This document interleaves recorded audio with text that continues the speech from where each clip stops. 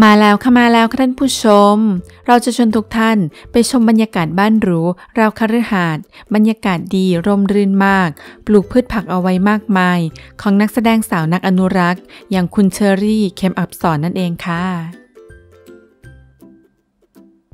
สำหรับคุณเชอรี่เข็มอับสอนเธอเป็นนักแสดงมากความสามารถ อยู่ในวงการบันเทิงมาอย่างยาวนานมาก ไม่ว่าจะเล่นละครในบทบาทไหน เธอก็ตีบทแตกได้ทุกเรื่อง และยังเคยได้รับรางวัล สาขานักแสดงสมทบหญิงยอดเยี่ยมมาแล้ว อีกทั้งยังเป็นนักแสดงที่วางตัวดี ไม่มีข่าวเสียหาย ช่วงหลังมานี้เธอได้พักงานละครทำให้ไม่ค่อยได้เห็นการแสดงของเธอ ผ่านทางจอทีวีสักเท่าไหร่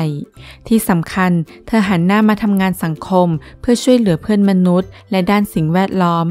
วันนี้เราจะชวนทุกท่านไปชมบรรยากาศบ้านของเธอ จะสวยงาม บรรยากาศดีมากแค่ไหน เราไปชมกันเลยค่ะ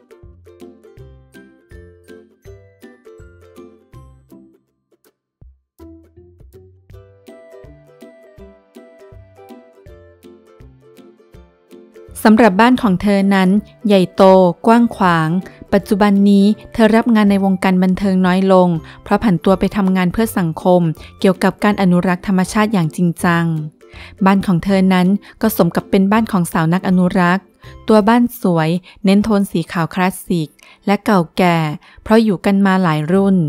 เธอเป็นคนที่รักธรรมชาติ เพราะบริเวณบ้านปลูกต้นไม้น้อยใหญ่เอาไว้มากมาย รอบๆบบ้านโอบล้อมไปด้วยพื้นที่สีเขียว มีสนามหญ้า ดูร่มรื่น เย็นสบาย ส่วนต้นไม้นานาชนิด มีทั้งต้นไม้ใหญ่อายุหลายสิบปี ต้นปีบกล้วย มะเฟือง และดอกไม้อีกนานาชนิด เหมาะสำหรับพักผ่อนหย่อนใจ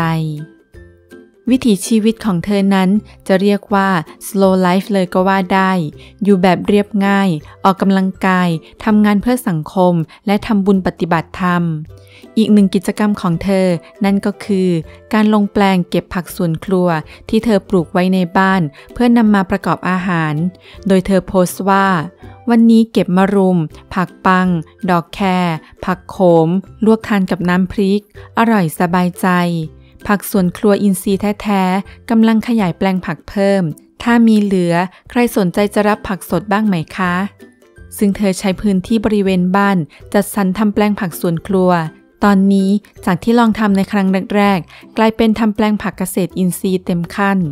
เป็นไลฟ์สไตล์ที่เธอดูมีความสุขกับการใช้ชีวิตแบบนี้เอามากๆ และยังได้โพสต์ภาพที่เริ่มนำต้นอ่อนลงแปลง มีแคปชั่นว่า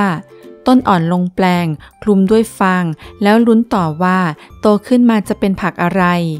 มีแฟนคลับเข้าไปคอมเมนต์กันอย่างมากมาย ว่าชอบไลฟ์สไตล์แบบนี้ของเธอ บางคนก็ลองทำตามกันเลยทีเดียว ส่วนภายในบ้านตกแต่งแบบเรียบง่าย แต่ดูหรูหรา จัดเป็นมุมต่างๆ ได้อย่างลงตัว มีโซฟานั่งเล่นพักผ่อน มุมรับแขก นั่งเล่นรับลมเย็นๆ เป็นบ้านที่ดูสบายตามากๆเลยทีเดียว ภายนอกดูร่มรื่น ภายในดูตกแต่งสวยหรู มีความอบอุ่น สำหรับเรื่องหัวใจของเธอนั้น หลังจากที่ประกาศโสดมา เธอก็บอกว่า ตอนนี้ไม่มีเวลาให้เหงาเลย เพราะทุ่มเทเวลาทั้งหมดให้กับงาน และตอนนี้ก็ไม่ได้มีภาพแต่งงานอยู่ในหัว แต่ก็บอกอีกว่า ไม่ได้ปิดใจนะพร้อมเผยสเปคว่า อยากได้ผู้ชายที่มีศีลห้า และถ้ารักโลกด้วยก็ยิ่งดี แต่ไม่ชอบคนที่เข้ามาจีบแบบจู่โจม อยากให้เริ่มคุยจากการเป็นเพื่อนกันไปก่อน ส่วนละครของเธอแบบเต็มๆ เธอยอมรับว่ามีผู้จัดมาชวนหลายคน แต่เธอยังไม่มีเวลา เพราะยังยุ่งอยู่กับงาน แต่หากผู้จัดคนไหนทำละครเกี่ยวกับการรักโลก หรืออนุรักษ์สิ่งแวดล้อม ก็อาจจะพิจารณาเป็นพิเศษ ซึ่งหากต้องกลับมารับละครจริง ๆ เธอบอกว่าก็คงต้องทำการคอสนิมกันยกใหญ่ เพราะห่างหายไปนาน เป็นบ้านสวย บรรยากาศดีมาก ร่มรื่น มีต้นไม้นานาพันธุ์ ปลูกพืชผักเอาไว้มากมาย ของนักแสดงมากความสามารถ แถมยังทำงานเพื่อสังคม เป็นนักอนุรักษ์ เรียกว่าเป็นคนดังที่น่าชื่นชมจริง ๆ เลยค่ะ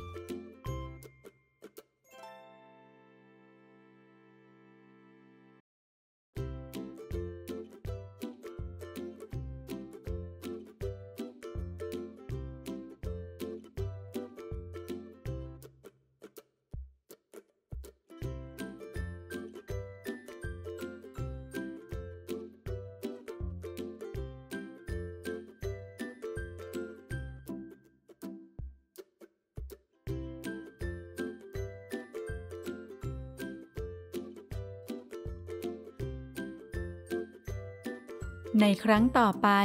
เราจะพาไปชมบ้านของคนดังท่านใดบ้าง ท่านผู้ชมสามารถกด subscribe หรือกดติดตาม เพื่อที่จะได้ไม่พลาดวิดีโอใหม่ ๆ ของเราค่ะ